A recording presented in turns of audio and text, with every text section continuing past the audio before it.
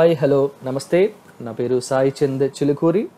Welcome to minds academy ఈరోజు మనం current అఫైర్స్లోని ఇంపార్టెంట్ టాపిక్స్ని స్టార్ట్ చేద్దాం. అయితే ఎంతకంటే ముందు ఒక చిన్న ఇన్ఫర్మేషన్ మీకు ఈ కంటెంట్కి సంబంధించి ఇప్పుడు మీరు చూస్తున్నటువంటి ఈ కంటెంట్కి సంబంధించి పీడిఎఫ్ ఫైల్స్ మైండ్స్ అకాడమీ అప్లికేషన్లో ఉంటాయన్నమాట. సో మీకు అవి కావాలి అనుకుంటే కనుక ఈ మైండ్స్ అకాడమీ అప్లికేషన్ని ప్లే స్టోర్ నుంచి ఇన్స్టాల్ చేసుకోండి. మీ మొబైల్ ఫోన్లో అందులో ఉన్నటువంటి ఈ పీడిఎఫ్స్ని డౌన్లోడ్ చేసుకొని చక్కగా చదువుకొని మంచి జాబ్ని సాధించాలని చెప్పేసి కోరుకుంటున్నాం. ఓకే? ఈ రోజుటి కరెంట్ అఫైర్స్లోని ఇంపార్టెంట్ టాపిక్స్ని మనం స్టార్ట్ చేద్దాం. కేరళను తాకిన నైరుతి ఋతుపవనాలు సో వానాకాలం ప్రారంభమైపోయింది. కేరళను నైరుతి ఋతుపవనాలు తాకడం కూడా జరిగిపోయింది అనమాట సో ఈసారి సాధారణ వర్షపాతం దాదాపుగా నూట నాలుగు శాతం వర్షపాతం నమోదవుతుందని చెప్పేసి ఐఎండీ ప్రకటించడం జరిగింది. అదేవిధంగా పసిఫిక్ మహాసముద్రంలో బలహీనమైనటువంటి లానిన పరిస్థితులు ఏర్పడ్డాయట. సో ఇది కూడా చాలా మంచి సంకేతం అని చెప్పేసి ఐఎండి చెబుతుంది. అదేవిధంగా అరేబియాలో ఏర్పడ్డటువంటి అల్పపీడనము అది తుఫాన్గా మారనున్నట్లు ఐఎండి చెప్పడం జరిగింది. ఈ తుఫాన్కి నిసర్గ అనేటువంటి పేరు పెట్టనుండగా దీని ప్రభావంతో ఈ నిసర్గ తుఫాను ప్రభావంతో మహారాష్ట్ర గుజరాత్లోని కోస్తా జిల్లాలు అంటే తీర ప్రాంతపు జిల్లాలలో భారీ నుంచి అతి భారీ వర్షాలు పడతాయని చెప్పేసి ఐఎండి చెప్పింది. ఇక్కడ నోటను పెట్టాను కదా ఒకసారి చూసుకుందాం. అదేంటి అంటే ఐఎండి ఇటీవల దాదాపు నూట అరవై తొమ్మిది తుఫాన్ పేర్లతో గలటువంటి ఒక లిస్ట్ని డబ్ల్యూఎండి డబ్ల్యూఎండి అంటే ప్రపంచ వాతావరణ సంస్థ నుంచి అది పొందడం జరిగిందనమాట ఆ లిస్టులో ఉన్నటువంటి మొట్టమొదటి పేరే నిసర్గ. నిసర్గ అనేటువంటి పేరును ఎవరు ప్రతిపాదించారు? బంగ్లాదేశ్ అనేటువంటి దేశము ప్రతిపాదించడం సూచించడం జరిగిందనమాట సో ఆ విధంగా ఈ నూట అరవై తొమ్మిది పేర్లలో ఉన్నటువంటి ఫస్ట్ పేరుని ఈ యొక్క అరేబియా సముద్రంలో ఏర్పడినటువంటి తుఫాన్కి పెట్టడం జరిగింది. ఓకే? నెక్స్ట్ రాజ్యసభ ఎన్నికలు పంతొమ్మిదిన ఈ నెల పంతొమ్మిదో తారీఖు నాడు రాజ్యసభ ఎన్నికలు నిర్వహించినట్లుగా ఎవరు కేంద్ర ఎన్నికల సంఘం చెప్పడం జరిగింది. ఎందుకోసము? ఎప్పుడు జరగాల్సిన ఎప్పుడు జరుగుతున్నాయి? అసలు ఎందుకోసం ఇంత లేట్ అయింది? చూసుకుందాం. కరోనా కారణంగా సో తెలిసిందే కరోనా కారణంగా ఏడు రాష్ట్రాలలో ఆగిపోయినటువంటి ఎన్నికలను నిర్వహించేందుకు కేంద్ర ఎన్నికల సంఘం తేదీలను ప్రకటించింది. దేశంలోని పదిహేడు రాష్ట్రాల్లోని యాభై ఐదు రాజ్యసభ స్థానాలకు ఎన్నికలు జరగాల్సి ఉండగా పది రాష్ట్రాల్లోని ముప్పై ఏడు స్థానాలు ఏకగ్రీవం కావడంతో మిగిలిన పద్దెనిమిది స్థానాలకు ఈ నెల పంతొమ్మిదిన మిగిలినటువంటి పద్దెనిమిది స్థానాలకు ఈ నెల పంతొమ్మిదో తారీఖున ఎన్నికలు నిర్వహించేందుకు సిఈసి సెంట్రల్ ఎలక్షన్ కమిషన్ కేంద్ర ఎన్నికల సంఘం నిర్ణయించడం జరిగిందనమాట ఈ ఎలక్షన్స్లో మన ఆంధ్రప్రదేశ్లో నాలుగు స్థానాలకు కూడా మన ఆంధ్రప్రదేశ్లోని నాలుగు స్థానాలకు కూడా రాజ్యసభ స్థానాలకు కూడా ఎన్నికలు అనేటువంటివి జరుగుతున్నాయన్నమాట. సో ఎప్పుడది? పంతొమ్మిదో తారీఖు నాడు ఈ నెల పంతొమ్మిదో తారీఖు నాడు రాజ్యసభ ఎన్ని- రాజ్యసభ ఎన్నికలు జరగబోతున్నాయి. Okay next. బంకర్లోకి ట్రంప్. బంకర్లోకి ట్రంప్ వెళ్ళాడట. ఎందుకోసం వెళ్ళాడు? చూసుకుంటే అమెరికాలో ఆఫ్రో అమెరికన్ ఆఫ్రో అమెరికన్ అయినటువంటి మనం నిన్న చదువుకున్నాం కదా కరెంట్ అఫైర్స్లో. జార్జ్ ఫ్లాయిడ్ అనేటువంటి ఒక వ్యక్తిని అక్కడి శ్వేత జాతి పోలీసు చాలా కర్కశంగా చంపాడని చెప్పేసి మొన్న మనం చూసుకున్నాం కదా. సో ఆ ఆఫ్రో అమెరికన్ను శ్వేత జాతి పోలీసు చంపినటువంటి సంఘటనకు ఆగ్రహావేశాలతోటి ఆందోళనకారు చేపట్టినటువంటి నిరసనల దశగా అమెరికా అధ్యక్షుడైనటువంటి ట్రంప్ వరకు వచ్చిందనమాట సో వీళ్ళు చేస్తున్నటువంటి ఈ నిరసనల యొక్క సెగ ఈ యొక్క అధ్యక్షుడైనటువంటి ట్రంప్ దాకా వచ్చింది. వైట్ హౌస్ సమీపంలోని నిరసనలు తీవ్ర రూపం తీవ్ర రూపం దాల్చడంతో భద్రతా కారణాల రీత్యా ఎందుకంటే అమెరికన్ సెక్యూరిటీ ఎంత స్ట్రాంగ్గా ఉంటుందో తెలుసు కదా. ప్రెసిడెంట్కి ఏమాత్రం కూడా ఆపద కలగనీయకుండా వాళ్ళు ముందు జాగ్రత్త చర్యలు తీసుకుంటారు. సో ఆ భద్రతా కారణాలతోటి ట్రంప్ని తన కుటుంబంతో సహా కొంతసేపు బంకర్లో ఆశ్రయం అనేది వీళ్ళు కల్పించారనమాట అంటే ఇక్కడ దాచారనమాట సార్ మీరు ఇక్కడ ఉండండి. బయట మొత్తం పరిస్థితులు సెట్ అయ్యేంత వరకు మీరు ఇక్కడే ఉండాలని చెప్పేసి చెప్పారనమాట సో ఆ విధంగా ట్రంప్ తన భార్య కొడుకుతో కలిసి ఈ యొక్క బంకర్లో కాసేపు ఉండడం జరిగింది. అయితే ట్రంప్ ఏమంటున్నాడంటే రాజకీయ లక్ష్యాల సాధనం కోసము ప్రత్యక్ష కార్యాచరణకు దిగేటువంటి స్వతంత్ర కార్యకర్తలున్న యాంటీఫా యాంటీఫా అనేటువంటి సంస్థను ఉగ్రవాద సంస్థగా మేము పరిగణిస్తున్నామని చెప్పేసి ట్రంప్ ప్రకటించడం జరిగిందనమాట మన ఎగ్జామినేషన్ పాయింట్ ఆఫ్ వ్యూలో ఇంపార్టెంట్ యాంటీఫా అనేటువంటి సంస్థను ట్రంప్ ఉగ్రవాద సంస్థగా ప్రకటించడం జరిగింది. అయితే అమెరికాలో ఈ విధమైనటువంటి నిరసనలు ఇంతకుముందు జరిగాయా అంటే జరిగినాయి. ఎప్పుడు నైన్టీన్ సిక్స్టీ ఎయిట్లో పంతొమ్మిది వందల అరవై ఎనిమిదవ సంవత్సరంలో Martin Luther King Junior Martin Luther King Junior హత్యకు గురైన తర్వాత పెద్ద ఎత్తున పౌర నిరసనలు జరగడం జరిగిందనమాట ఆ తర్వాత ఇప్పటివరకు అంత స్థాయిలో జరగలేదు కానీ ఇప్పుడు ఈ జార్జ్ ఫ్లాయిడ్ అనేటువంటి ఆఫ్రో అమెరికా అమెరికన్ని చంపిన తర్వాత ఆ స్థాయిలో నిరసనలు ఇప్పుడు జరుగుతున్నాయి. సో ఇది చాలా తీవ్రమైనటువంటి నేరం. ఎందుకోసం అంటే ప్రపంచంలో మనుషులందరూ కూడా ఒకటే దానికి రంగుతో కానీ భాషతో కానీ జాతితో కానీ ఎటువంటి భేదాలు అనేది చూపించకూడదు సో విధంగా అక్కడ చూపించారు కాబట్టి అక్కడ ఉన్నటువంటి ప్రజలు అక్కడ ఉన్నటువంటి ఎంఎన్సెస్ కూడా ఎవరు?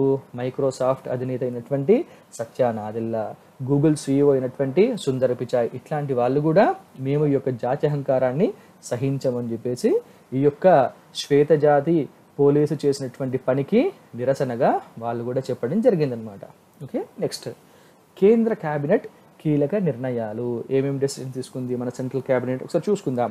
ప్రస్తుత ఖరీఫ్ సీజన్లో పండించేటువంటి మొత్తం పద్నాలుగు పంటల కనీస మద్దతు ధర పద్నాలుగు పంటల యొక్క కనీస మద్దతు ధరను పెంచుతున్నట్లుగా కేంద్ర కేబినెట్ నిర్ణయం తీసుకోవడం జరిగిందనమాట ఈ యొక్క పద్నాలుగు పంటలలో అత్యధికంగా వలిసెలకు వలిసెలకు అత్యధికంగా క్వింటల్కి ఏడు వందల డెబ్బై ఐదు రూపాయలు పెంచినట్లుగా కేంద్ర కేబినెట్ నిర్ణయం తీసుకుంది. సో వాటికి చెందినటువంటి పూర్తి వివరాలు ఇక్కడ ఉన్నాయి. ఇక్కడ ఆ పంటలు పంటలకు పెంచినటువంటి రేటు ఎంత గణం రేటు పెరిగింది అనేది ఇక్కడ మీకు లిస్ట్ ఇవ్వడం జరిగింది. వీరితో ఒకసారి చూసుకోండి. ఎగ్జామినేషన్ పాయింట్ ఆఫ్ వ్యూలో ఇంపార్టెంటే కాబట్టి మనం ఒకసారి దీనిలో చూసుకోవాలి. దేనికి ఎక్కువగా దేనికి తక్కువగా పెట్టారు అనేది మనకు కొంచెం ఎగ్జామినేషన్ పాయింట్ ఆఫ్ వ్యూలో ఇంపార్టెంట్ కాబట్టి దీన్ని చూసుకో నోట్స్ ప్రిపేర్ చేసుకోవాలి. ఓకే నెక్స్ట్ దాంతోపాటు ఇంకొన్ని నిర్ణయాలు తీసుకున్నారు. ఏంటి? వడ్డీ రాయితీ ఆగస్టు ముప్పై ఒకటి వరకు పెంపు. ఏంటిది ఇది? అంటే రైతులు వ్యవసాయ అవసరాల కోసం తీసుకునేటువంటి మూడు లక్షల వరకు ఉన్న స్వల్పకాలిక రుణాలపైన వడ్డీ రాయితీ పథకాన్ని వడ్డీ రాయితీ పథకాన్ని ఆగస్టు ముప్పై ఒకటి వరకు పొడిగిస్తున్నట్లుగా కేంద్ర వ్యవసాయ శాఖ మంత్రి నరేంద్ర సింగ్ తోమర్ ప్రకటించడం జరిగిందనమాట అయితే ఈ వడ్డీ రాయితీలు ఏ విధంగా ఇస్తారు చూసుకుంటే బ్యాంకుల నుంచి రైతులకు తొమ్మిది శాతం వడ్డీకి రుణాలు వస్తాయి. అయితే ఈ రుణాలలో కేంద్రము రెండు శాతం రాయితీ ఇస్తుంది. అప్పుడు ఎంత అవుతుంది? ఏడు శాతం అవుతుంది. తర్వాత రైతు గనక ఆయన తీసుకున్నటువంటి రుణాన్ని సకాలంలో చెల్లిస్తే ప్రోత్సాహకం కింద ఇంకొక మూడు శాతం అదనంగా రాయితీ వస్తుంది. అప్పుడు మొత్తం ఎంత అవుతుంది? ఐదు శాతం పోతే నాలుగు శాతం మాత్రమే ఉంటుంది కదా. సో అప్పుడు నికరంగా రైతు కట్టేటువంటి వడ్డీ ఎంత? నాలుగు శాతం మాత్రమే అనమాట సో ఆ విధంగా వీరికి ప్రోత్సాహకాలు అనేది ఇవ్వడం జరుగుతుంది. నెక్స్ట్ వీధి వ్యాపారులకు పదివేల రుణం. ఏ విధంగా అంటే ఆత్మనిర్భర్ ప్యాకేజీలో భాగంగా వీధి వ్యాపారులకు రూపాయలు పదివేల వరకు పదివేల రూపాయల వరకు రుణాలు ఇచ్చేందుకు ఉద్దేశించిన పథకం పిఎం స్వనిధి. పిఎం స్వనిధి. స్వనిధి అంటే ఏంటి?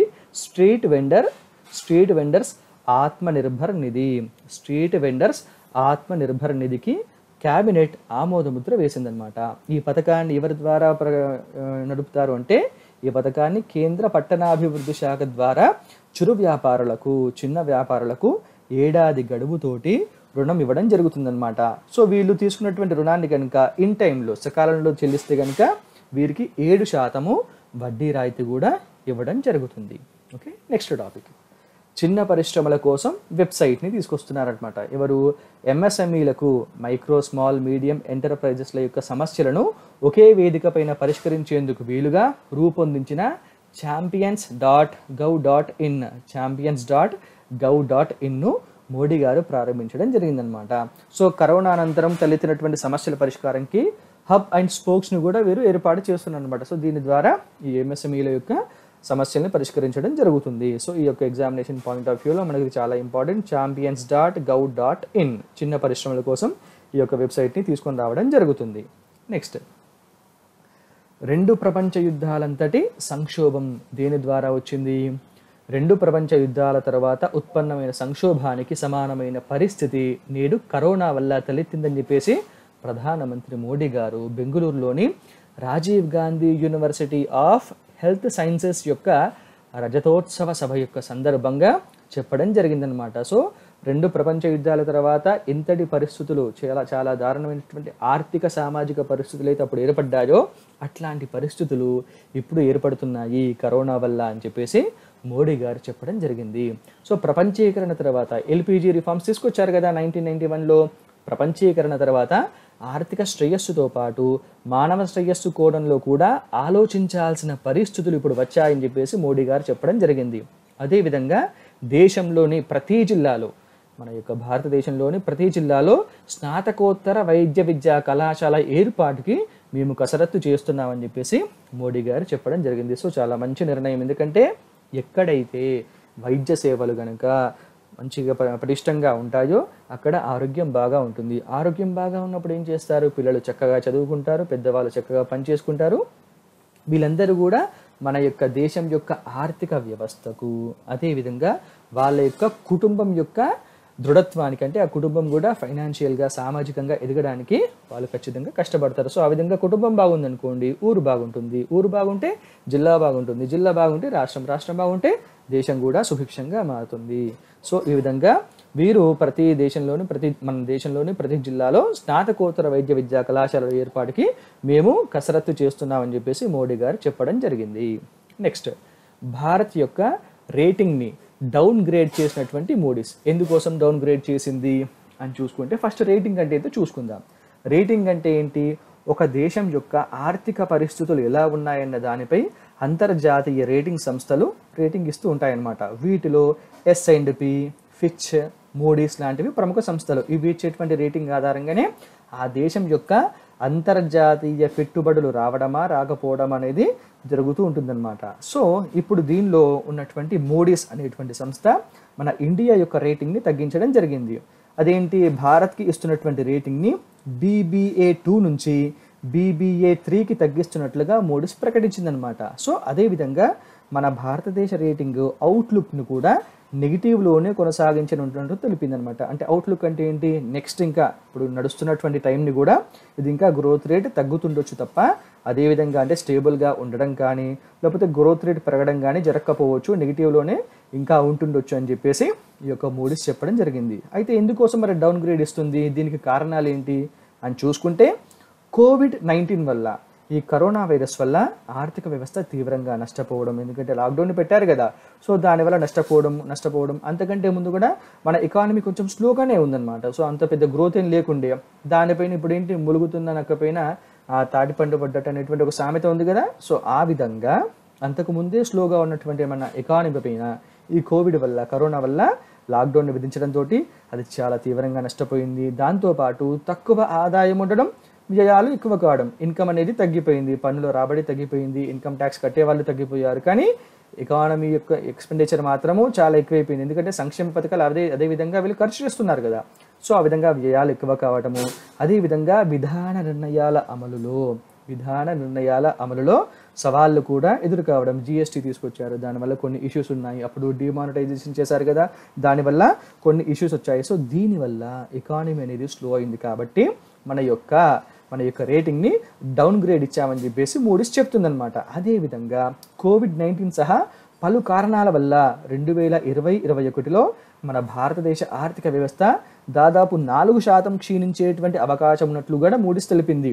అదేవిధంగా దీర్ఘకాలం వృద్ధి రేటు దిగువ స్థాయిలోనే ఉండటం వల్ల రుణభారం తగ్గించుకోవడం ప్రభుత్వానికి కొంత కష్టం కావచ్చు అని చెప్పేసి అంటుంది. అదేవిధంగా ద్రవ్య లోటు కట్టు తప్పేటువంటి అవకాశం ఉన్నట్లు కూడా మూడిస్ చెబుతుంది. ఎందుకోసము? గ్రోత్ రేట్ అనేది ఎక్కువగా లేదు. ఇంకా లో లో లెవెల్లోనే ఉంది. సో దానివల్ల ఇన్కమ్ రాదు. ఇన్కమ్ రానప్పుడు మరి సంక్షేమ పథకాలు నడపాలి అంటే డబ్బులు కావాలి కదా. అప్పుడు డబ్బులు కావాలి అంటే ఆదాయం లేదు. మరి మన దగ్గర డబ్బులు ఉన్నప్పుడు ఏం చేస్తారు? ఖచ్చితంగా అప్పు తెచ్చుకుంటుంది దేశం. ప్రభుత్వం అనేది అప్పు తీసుకొస్తుంది కదా. సో అప్పు తెచ్చినప్పుడు ఆటోమేటిక్గా అప్పు పెరుగుతుంది. తగ్గించుకోలేరు కాబట్టి ఈ విధంగా చెప్పడం అనేది జరిగిందనమాట అదే విధంగా లోటు కూడా కట్టు తప్పేటువంటి అవకాశం ఉందని ఉందని చెప్పేసి మూడిస్ చెప్తుంది.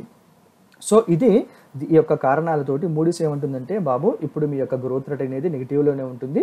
సో ఇన్ ఫ్యూచర్ మాత్రము మీరు సంస్కరణలు తీసుకొస్తే ఖచ్చితంగా వృద్ధి పథంలోకి వచ్చే అవకాశం ఉందని చెప్పేసి మూడీస్ చెప్పడం జరిగింది.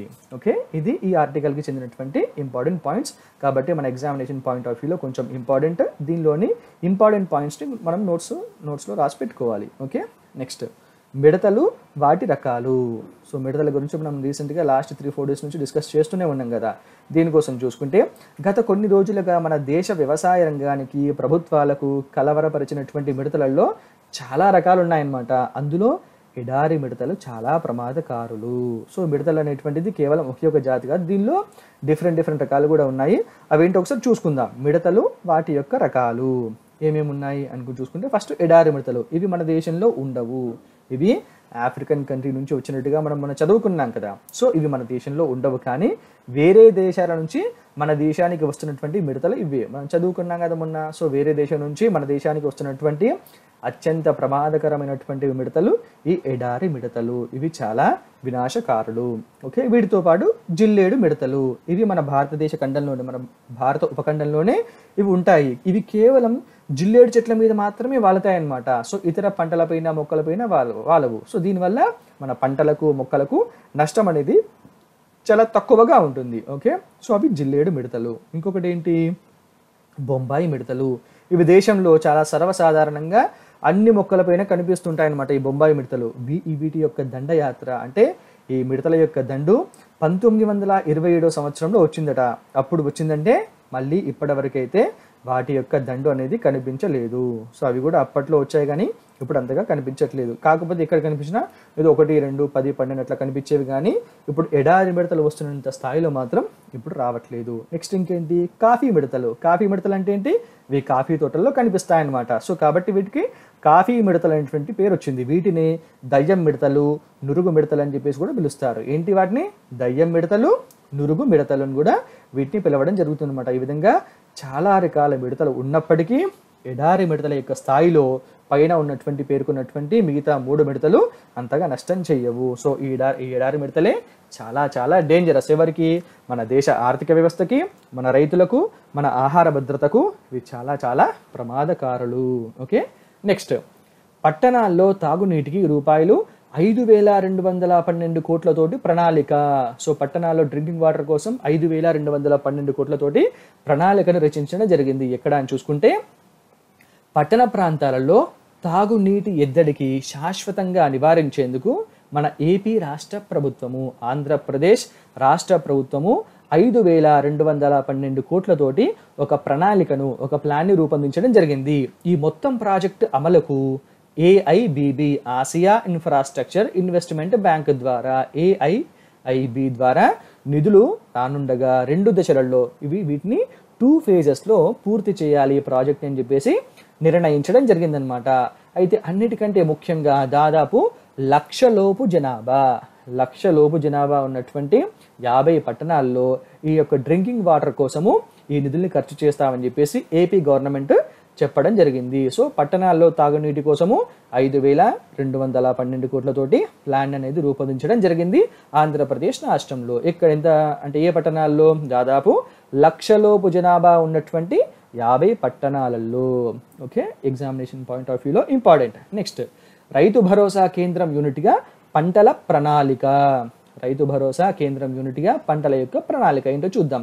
వైఎస్ఆర్ రైస్ రైతు భరోసా కేంద్రాన్ని యూనిట్గా తీసుకొని మనం ఇంతకు మొన్న చదువుకున్నాం కదా రాష్ట్ర వ్యాప్తంగా దాదాపు పదివేల పైచిలుకు గ్రామాలలో ఈ రైతు భరోసా కేంద్రాలను ఏర్పాటు చేస్తున్నారని చెప్పేసి సో ఈ యొక్క ఆర్బీ కేసుని యూనిట్గా తీసుకొని రైతులు ఏ పంటలు వేయాలి అనేది నిర్ణయించాలని చెప్పేసి సీఎం మన ఆంధ్రప్రదేశ్ సీఎం జగన్మోహన్ రెడ్డి గారు చెప్పడం జరిగింది. అదేవిధంగా ఈ పండినటువంటి పంటలో దాదాపు ముప్పై శాతాన్ని ప్రభుత్వమే కొనుగోలు చేయడం ద్వారా మార్కెట్లో పోటీ పెంచడం ద్వారా జరిగి పెంచడం జరిగి రైతుకు గిట్టుబాటు ధర అనేటువంటిది లభిస్తుందని చెప్పి కూడా జగన్ గారు చెప్పడం జరుగుతుందన్నమాట. అంటే ఇప్పుడు క్రాప్ వచ్చింది అనుకోండి వచ్చింది అనుకోండి దానిలో థర్టీ పర్సెంట్ క్రాప్ని గవర్నమెంట్ కొంటుంది. అప్పుడు సెవెంటీ పర్సెంటే ఉంటుంది కదా. అప్పుడు ఏమవుతుంది మార్కెట్లో క్రాప్ యొక్క అంటే పంట యొక్క బిగులు అనేది తగ్గుతుందన్నమాట. సో తక్కువ పంట ఉండేసరికి దాన్ని ఎక్కువ మొత్తంలో అంటే దానికి దాని యొక్క రేట్ అనేది పెరగడం జరుగుతుంది. డిమాండ్ అండ్ సప్లై థియరీ తక్కువ ఉన్నప్పుడు ఆటోమేటిక్గా దాని రేటు పెరుగుతుంది కాబట్టి ఆ విధంగా రైతులకు కనీసం గిట్టుబాటు ధర అయినా సరే వస్తుందని చెప్పేసి జగన్మోహన్ రెడ్డి గారు ఈ నిర్ణయాన్ని తీసుకోవడం జరిగింది. ఇందుకోసం వారు ఈ మార్కెటింగ్ ప్లాట్ఫామ్ని ఏర్పాటు చేయాలని చెప్పేసి చెప్తున్నారనమాట ఈ మార్కెటింగ్ ప్లాట్ఫామ్ని ఏర్పాటు చేయాలి. ఇది సక్సెస్ అవ్వాలి అంటే ట్రాన్స్పోర్టేషన్ రవాణా సదుపాయాలు కూడా కల్పించాలి. అదేవిధంగా సకాలంలో చెల్లింపులు జరగాలి. వ్యవసాయ ఉత్పత్తుల్లో నాణ్యతను కూడా పాటించడం చాలా చాలా ముఖ్యం అని చెప్పేసి జగన్మోహన్ రెడ్డి గారు చెప్పడం జరిగింది. ఓకే? చాలా మంచి నిర్ణయం అది ఇంప్లిమెంట్ అవ్వాలని చెప్పేసి మనం కోరుకుందాం. Okay? Next. My life my yoga program అన్నమాట. మై లైఫ్ మై యోగా కార్యక్రమం. మై లైఫ్ మై యోగా అనేటువంటి కార్యక్రమాన్ని ఆయుష్ మంత్రిత్వ శాఖ తర్వాత Indian council of cultural relations ఇవి రెండు కలిసి ఉమ్మడిగా చేపట్టనున్నాయన్నమాట. సో నెక్స్ట్ యోగా డే రాబోతుంది కాబట్టి దానిలో భాగంగా మై లైఫ్ మై యోగా అనేటువంటి ప్రోగ్రాన్ని ఈ రెండు మంత్రిత్వ శాఖలు ఆయుష్ మంత్రిత్వ శాఖ అదేవిధంగా Indian council for cultural relations ఇవి రెండు కలిసి ఇది మంత్రిత్వ శాఖ ఇది ఒక కౌన్సిల్ ఇవి రెండు కలిసి ఉమ్మడిగా జాయింట్గా చేపట్టనున్నాయని చెప్పేసి న్యూస్లో రావడం జరిగింది. ఎగ్జామినేషన్ పాయింట్ ఆఫ్ వ్యూలో ఈ మంత్రిత్వ శాఖల గురించి అడిగేటువంటి అవకాశం ఉంటుంది. Okay next CMS COP thirteen మస్కట్గా GB జిఐబిఐ అంటే ఏంటి? చూసుకుంటే conservation of migration species of wild animals అంటే ఈ యొక్క వైల్డ్ ఎనిమల్స్ సంచారించి వలసల వలసలు చేసేటువంటి వలసలు జరిపేటువంటి ఈ వైల్డ్ ఎనిమల్స్ యొక్క సంరక్షణ కోసము చేసేటువంటి కాప్ థర్టీన్ కాప్ అంటే ఏంటి?